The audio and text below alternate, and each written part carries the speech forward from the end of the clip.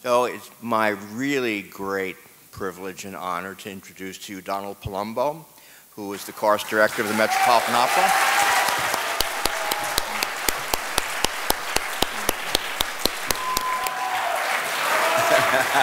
um, I thought it might be interesting to talk about how, uh, when I'm presented with the fact that I'm doing Meistersinger in the 14-15 season, how, uh, what the approach is to getting the piece onto the stage.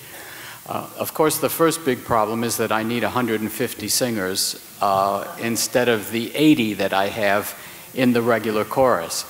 So we actually do uh, auditions for extra choristers a full year ahead of the season in which the opera will be performed. So that means that the auditions for the, the extra chorus for Meistersinger were done back in, in uh, 2013 in, in the fall. Um, Meistersinger is certainly the largest chorus opera that we, we do at the Met. The, the next closest, I think, would be Boris, which is 110. So the jump from 110 to 150 is, is, is quite a, a, big, a big leap.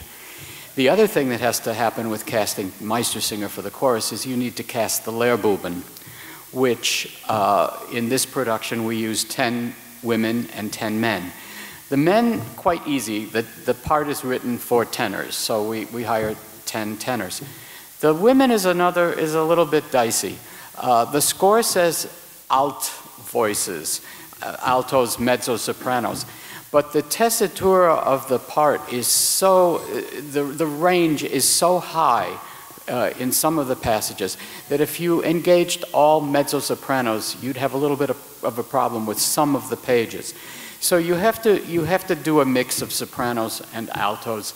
If you have good high mezzo sopranos with, with a cutting voice, you can you can let them sing some of the, the higher stuff. But uh, so I, I, always try to go for a mix of about maybe four sopranos and, and six, six altos. So you've got the Lehrbuben and you have this huge extra chorus. Now you take a look at the score and you see how everything plays out over the three acts. The beginning of Act One starts with the chorale that the, the overture leads into this chorale that is sung on stage. In this production, the chorus is in a diagonal facing one side of the stage, far up stage.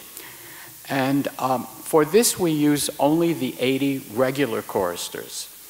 And the reasons, I think, are twofold. First of all, I'm not sure we could get 150 people sitting in the church. As it is now, some of our choristers don't even have costumes on. They're standing behind the people that you actually see in the church. So we could never get 150 choristers on. The other thing, I, the other reason I think is just purely from a financial point of view. You're, you do not have to pay 150 people to come at 6 o'clock and stay around till 11.10 or 11.15 in the evening. So we start Meistersinger with just the 80 regular choristers. In this production, I'm actually, as you're facing the the stage, I'm actually at the far right corner in front of the chorus with a television monitor uh, conducting, conducting them since they're, they're looking my way.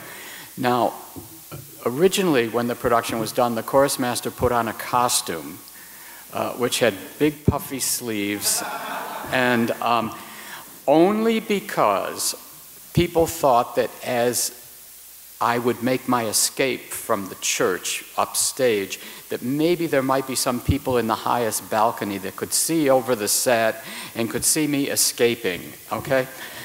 Well, I think the past chorus masters have worn this costume, but I said I'm not wearing this costume. um, I think with today's uh, uh, instant access to everything, uh, I think I would have been plastered all over the internet in this outfit. and I, I immediately said, if I have to do this, I will either sneak out in a black, uh, totally black turtleneck and pants, or I will just spend the entire first act sitting on stage and I'm not wearing this costume. So I actually sneak out without having to put the costume on. Um, then what happens? The, the congregation disappears, and the bulk of the chorus doesn't appear until the end of the second act what happens is the Lehrbuben then take the stage, and in our production, they, they build the set, basically. Um, they, they basically serve as, as very talented uh, stagehands, constructing everything that you see in, in, in the first act of Meistersinger. Um, the music is very conversational. It's much lighter than, than anything you'll hear in the third act, certainly different from the chorale. And they end up then having to be on stage through in the entire first act. Uh, you'll see them up climbing in the gallery and sitting watching the Meisters. And then they join in at the end of the first act. So one, one sort of misconception about the chorus in Meistersinger is that there's tons and tons of music to sing. It's really not the case. There's a lot of time that they're involved on stage. But if you actually compress all the chorus music in Meistersinger, you can actually run it in a rehearsal in maybe 15 minutes. It's kind of shocking that we're, we're in the theater for six hours and we're singing for 15 minutes. Um, uh, it is, as far as amount of music, it, it's, it, you can't compare it to something like Lohengrin, where, the, where, as you know, the men just never shut up in Lohengrin. It's constantly back and forth in the chorus. So Meistersinger is short, compact, but so detailed and so intricate. That's what makes Meistersinger so interesting for the chorus. Um, okay, so now we're into Act Two. Again, the Lehrbuben start out Act Two. Uh, Johannistag, uh, they, they set the stage for the fact that now we're moving, preparing for the festival. They appear in the first five minutes of the act, and then they disappear till the end of the act. And then we end up an hour or so later at the end of Act Two in the famous Prügelszene, which is one of the most incredible pieces of music ever written. Um, I think if you look at a score of Meistersinger, you'll see there's one line after another of vocal parts to be executed. Basically, what happens is the chorus breaks down into four groups plus some soloists. The women that are not Lehrbuben are, are not neighbors, Nachbarinnen, and they sing in four-part writing with very intricate patterns of 16th notes moving from part to part. And the way Wagner wrote it, it's extremely difficult to memorize, not for the music, but for the rests. And what has evolved over the years is a, a Bayreuth generated way of rewriting the parts so that all the women basically are constantly singing. Instead of singing a phrase and having two bars rest and letting the second sopranos continue instead of the first say, they've written what we like to call a railroading system so that every voice keeps moving. So basically you're singing and you don't have to count empty bars. Sometimes rests are more difficult than actual notes. Notes you have something to grab onto, you have a text to grab onto. Counting empty spaces is very difficult. So we have the women's group of neighbors who just keep singing. You have the Lehrbuben, who have their own music. You have a group of men, journeymen and, and, and uh, comrades, tenors and basses. Uh, basically two-part writing, but again, too many rests. And so you tend to have the tenors doubling the basses when possible, and, and the basses when it's not too high, singing some of the tenor lines. Of course, you have, I believe it is nine Meistersingers, solo, soloists, who have their own lines to sing in all of this. You have Magdalena, who actually, of course, Magdalena's cast mezzo soprano, alto, contralto, whatever. She has a high C in this thing. Sure, it's a scream, but it is marked a high C. and and Karen, Karen really nails it as a high C in the scene. And then you have a, a strange line that's listed as Meisters. And you've already got the solo Meisters, but there's one other line that's called Meisters, and they're the ones that sing the Cantus Firmus. Bum para tum para tum pum pum pa. Count, count, count. Da da da dum para pum pa. Count, count, count. So and of course, all this is going on while the orchestra has, uh, I don't know, thousands of 16th notes to play. It lasts about three minutes. Again, I say, if you run this stuff, it's short. But it's, it's probably some of the hardest three minutes of writing ever, ever put down on any page. And I often think with pieces like this, what did this sound like back in 1868 when, when the whole level of choral performance was not at the high level that we have in today's world? I, I just can't imagine this piece being executed uh, without problems. The other thing is Bayreuth the, because of the delays of the sound with the orchestra and the stage, this scene in Bayreuth is a real nightmare. You know, I, I'm sure you know, Parsifal was written to, to accommodate the acoustic in Bayreuth. It all works because everything blends together. But when you need that kind of precision, Meistersinger in Bayreuth is always the most difficult opera to prepare musically. Um, that's Act Two. Act Three by this point, the extra choristers have arrived in the theater. I believe their sign-in time is 10:30 or 10:45. Uh, and then we have the amazing scene uh, at the end of at the end of Act Three. The Lehrbuben still have their own individual lines to sing. The scene begins with the entrance of the guilds, and in the score there are actually only three groups of guilds that have separate entrances. The first guild to enter would be the tailors, uh, Schneider and no, Schuster. Schuster, the, the, the, shoe, the cobblers are 1st the tailors are next, and then the bakers are next. If, if you create three separate groups of choristers and you start the opera with just Schneiders on stage, you're not going to have enough sound to really cut through the orchestra.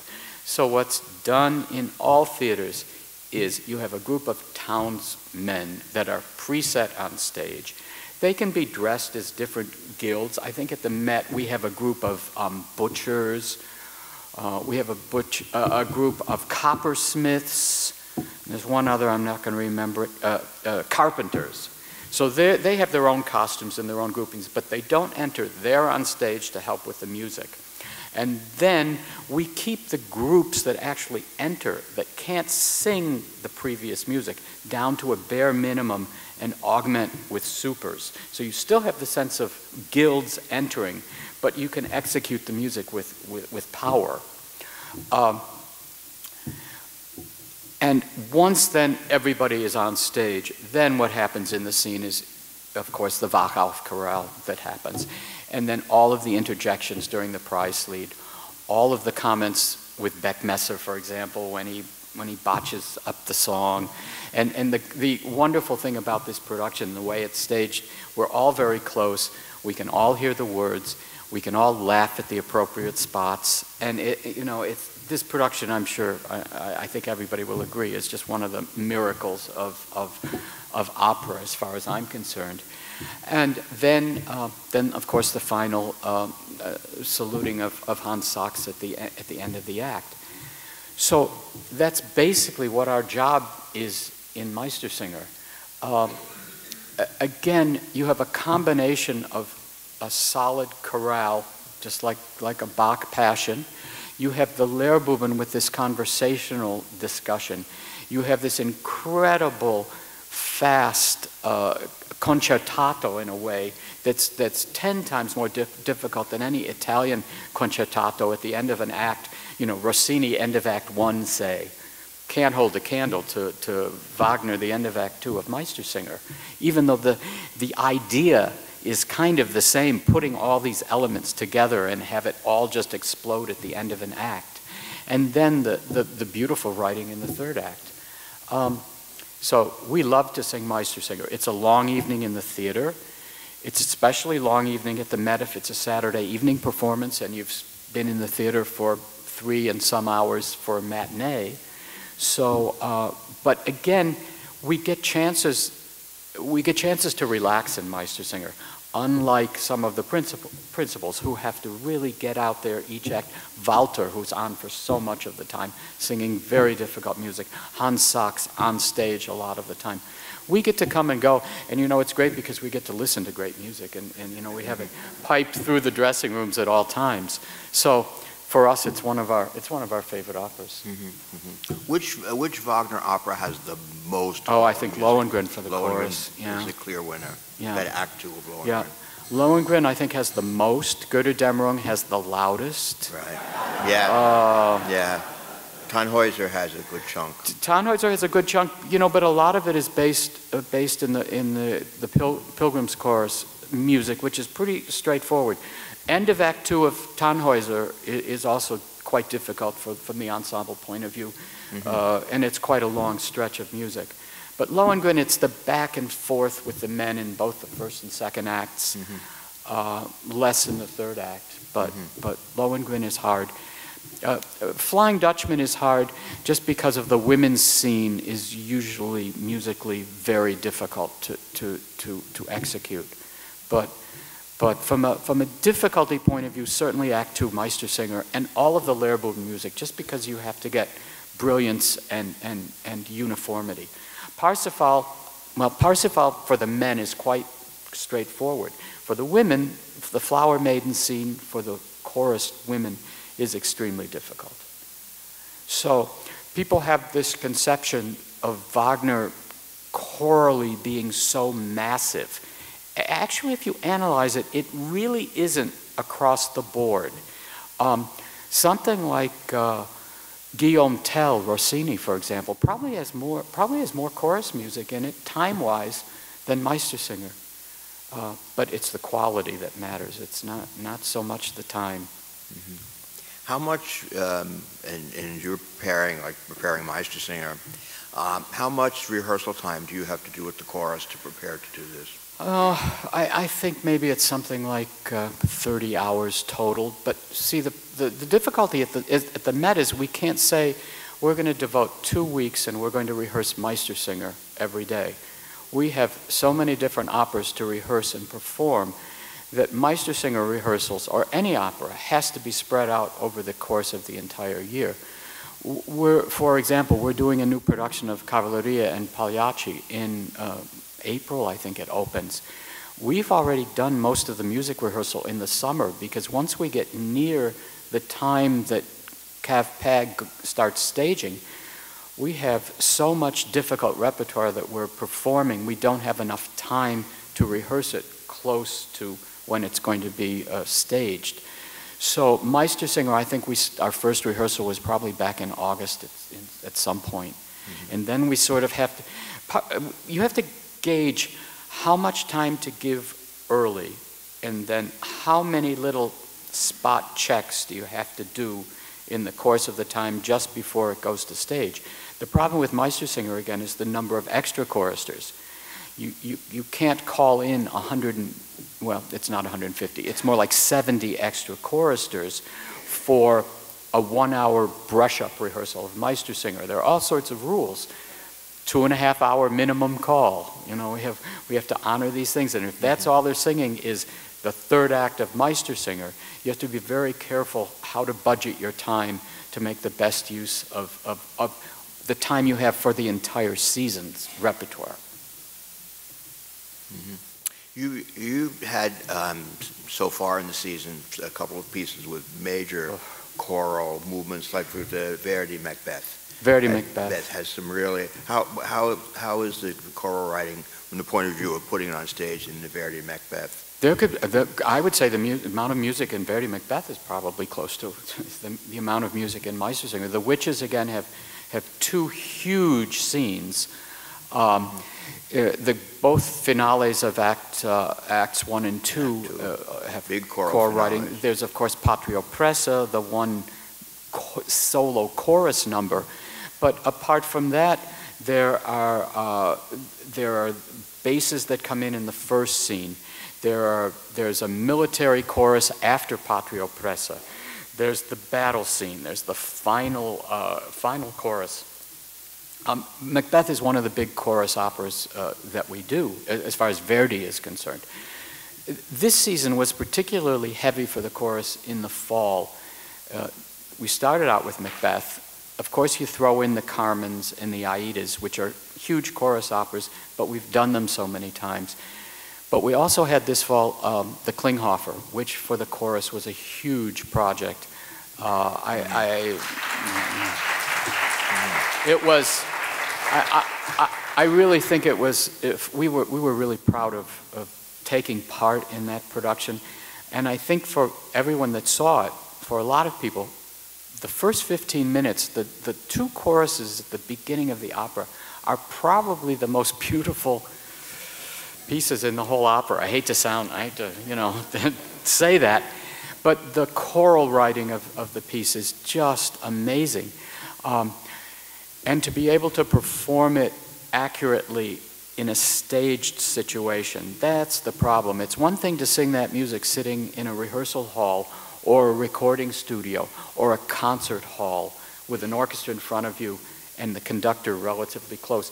But to sing that very complicated, delicate writing of the, the first 15 minutes of the opera with the chorus, I mean, the women, some of the women in the very first scene were probably back where that table is. I mean, that's, that's the distance between the conductor and, and, and the sing, chorus singers at some point.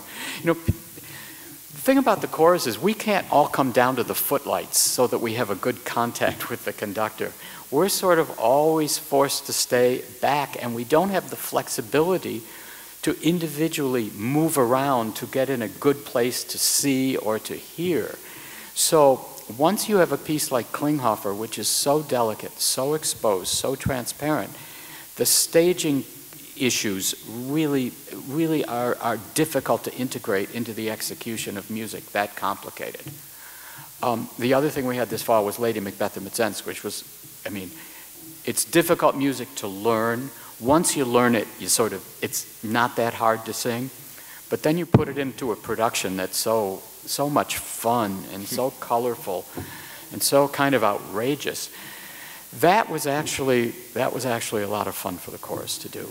But again, it, it's a lot of work. So, so it's been a, it's been a difficult, uh, heavy chorus uh, season so far at the Met. Um, right now we're working on uh, Iolanta, which has not been done, not a lot of chorus music.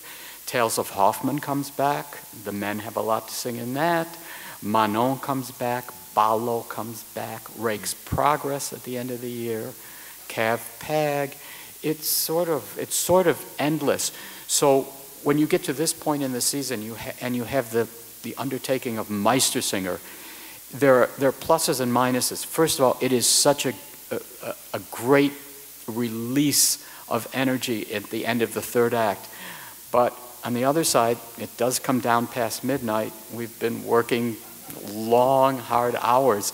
So Meistersinger, I always like to think, should be a festival opera. Just like Les Troyens, I think. To do Les Troyens in repertoire is, is pretty difficult. Uh, to do Moses and Aaron, pieces like that where the chorus is just so difficult and so concentrated. It's difficult to do those operas in the context of a Met season with all the other pieces that we have to do. But uh, as I say, I have a great, a, a great group of people. The, the, the, work ethic is just unreal. And um, we love what we do. So, uh, mm-hmm. you know, we somehow are able to pull it off. You pull it off extremely well, well, well It's, it's right. there. No. I have a, I have a question, uh, not about the Met Chorus, but about you.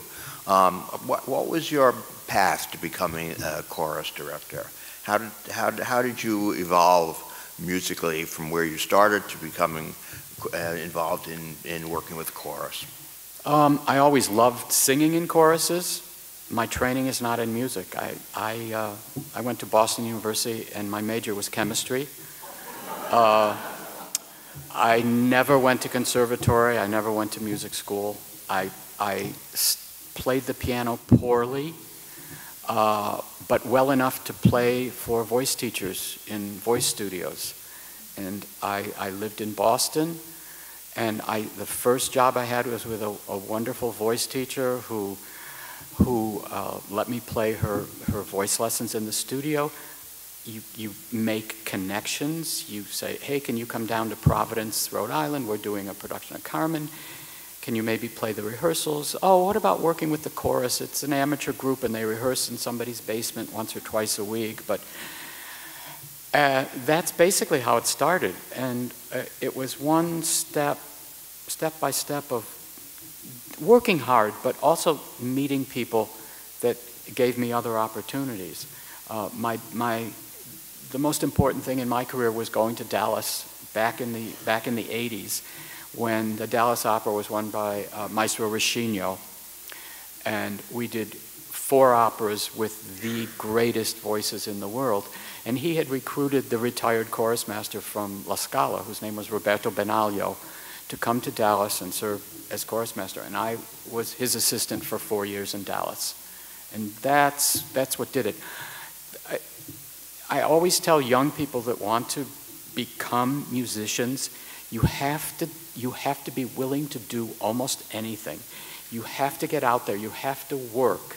You can't just sit and study scores. If someone says, Can you play? Oh, we're doing a little program at my church this, this weekend, and we want someone to, to play a couple of arias for, for a singer. Will you do it? You have to say yes to everything at the beginning.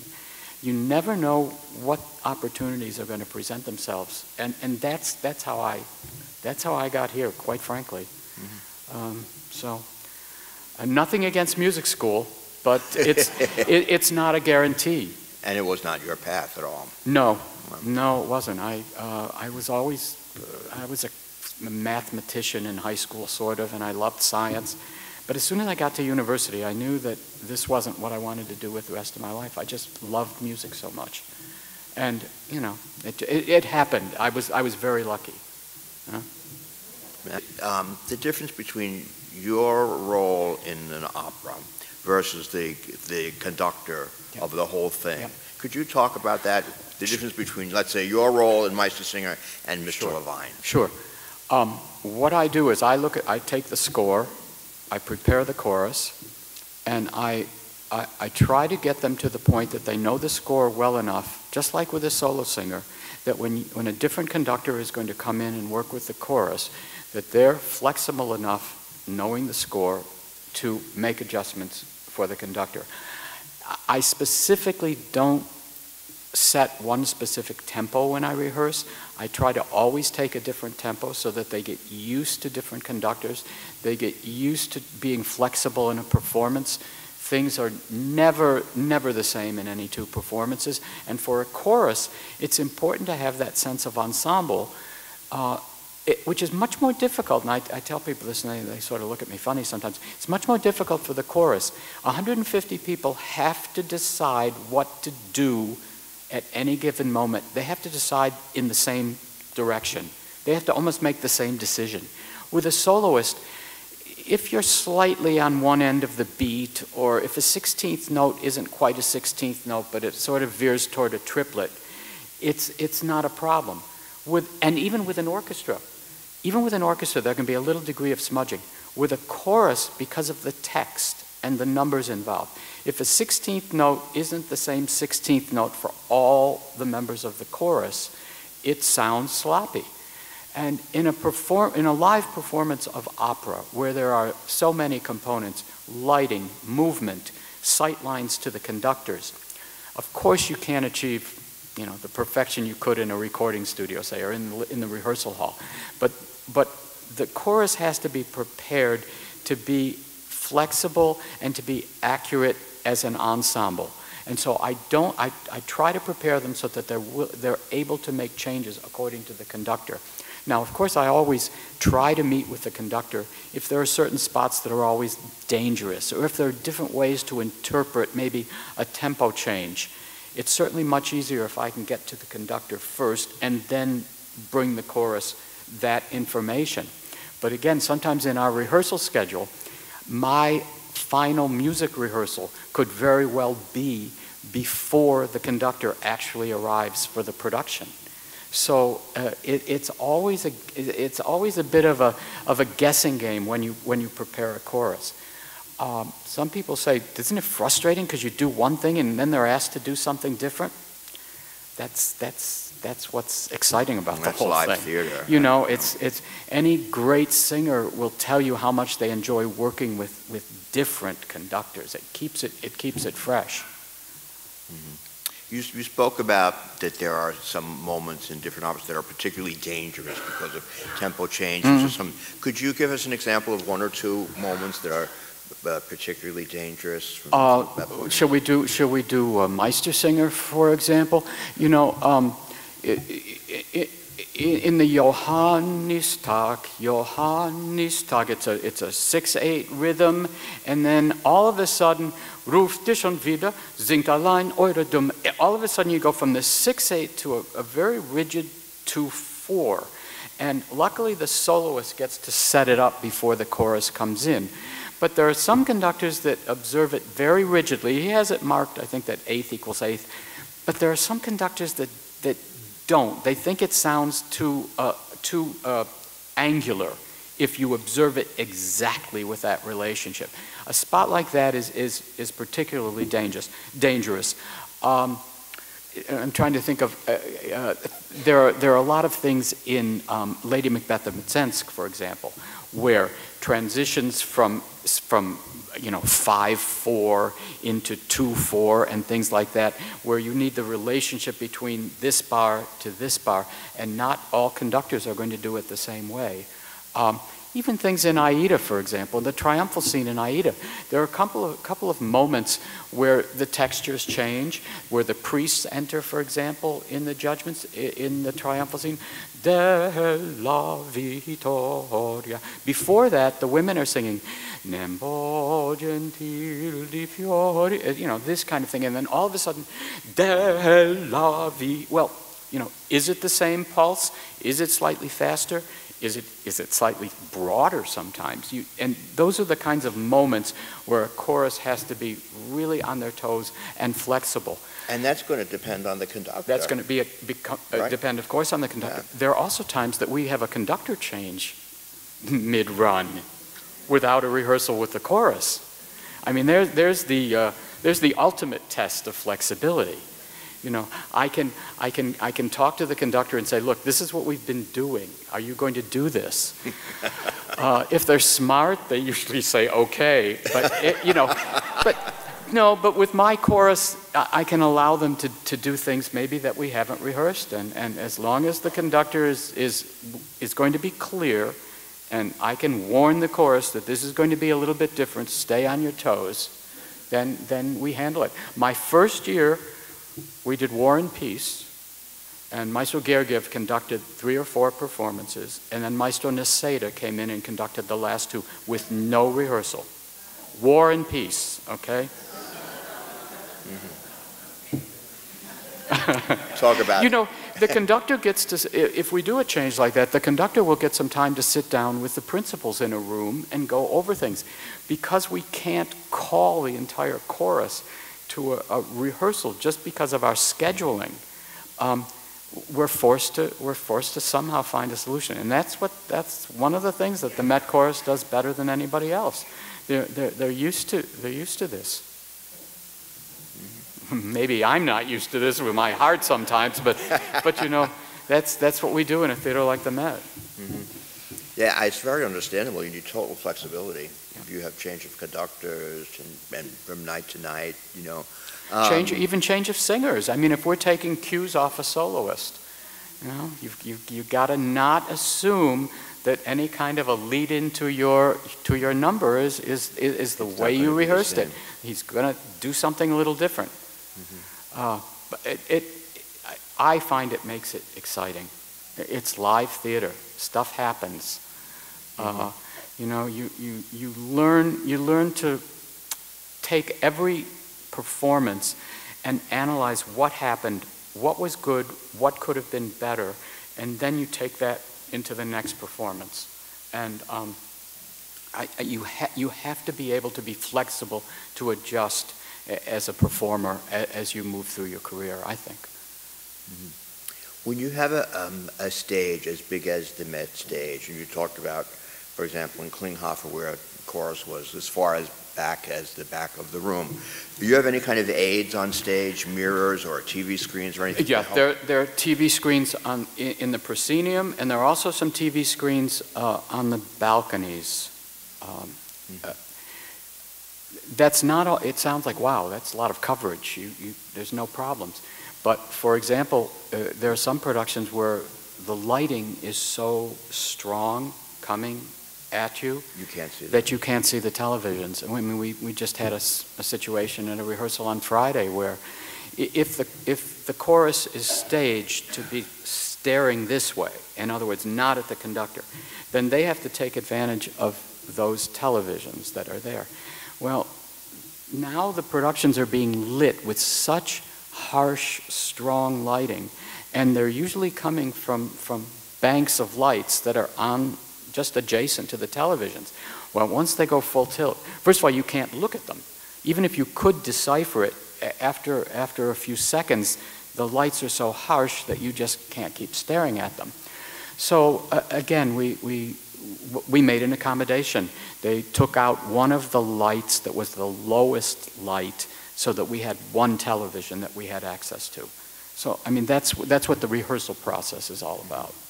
Uh, Meistersinger is difficult, uh, again, just because there are so many people on stage and so many of them are so deep into the stage.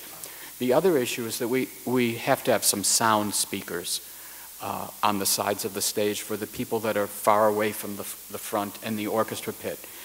Uh, with Meistersinger, once everybody gets singing, you really can't hear the orchestra. Uh, so we try to get some sound to help the people that are far upstage. Uh, it- now, you can say, what happened before all of this? Well, theaters were a little smaller. Uh, I would assume the standards weren't quite as, as rigid. I mean, when I started out, when I did Madame Butterflies the first time, the entrance of Butterfly, which is a notoriously difficult spot in opera, I looked through the hole in the curtain, like they say is what used to happen. They used, they used to cut out a, a hole in a piece of scenery, and you used to look at the conductor through that hole. now, you know, now we have televisions. I mean, When the chorus is on stage, and what- how well do you hear the orchestra? How, Uh, um, it depends on the opera. It depends on where you are on stage. Uh, it depends on um, whether. It, depends. It's kind of a question of what the writing is like. If it's just a pizzicato accompaniment to something, you basically hear nothing. Um, of course, if you've got Meistersinger full tilt with the orchestra, that you hear a lot of. Aida, you hear a, a lot of orchestra. Klinghoffer, the beginning of Klinghoffer, zero, nothing. Uh, so, uh, and, and the other thing is you can't crank up the speakers that are feeding the stage too high, or you actually can hear it in the house. You have, there's always the danger of feedback. There, it, it's, it's, it's always a, a question of balancing the level of sound. Um, and sometimes, believe it or not, you don't want to hear the orchestra. Sometimes when it's so complicated, if you listen, you're going to be reacting to what you hear. Sometimes you have to just watch and trust if you just follow this it's going to work that's another aspect of my job telling the chorus how to how to adapt to what they see and what they hear in every individual situation well, let me say, first of all, that it was great having you here today and hearing about the complexities of what it's like um, uh, doing the choral music that's involved in all operas. You know, it's very fascinating. And, and I want everyone is going to react to this. You, and you did it last night when we met, you give all the credit to the chorus, but you have been fabulous as a chorus director, and I think we should acknowledge that to you.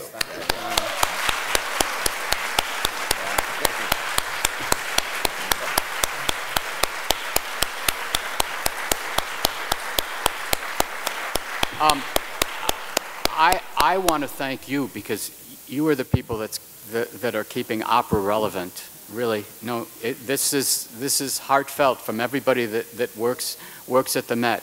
It's our audiences and groups like, like this that, that, that, that keep us going. So my my thanks to you. All right. Thank you. And uh, um, I hope you'll come back and visit us another time. Oh, My pleasure. Great, that's great.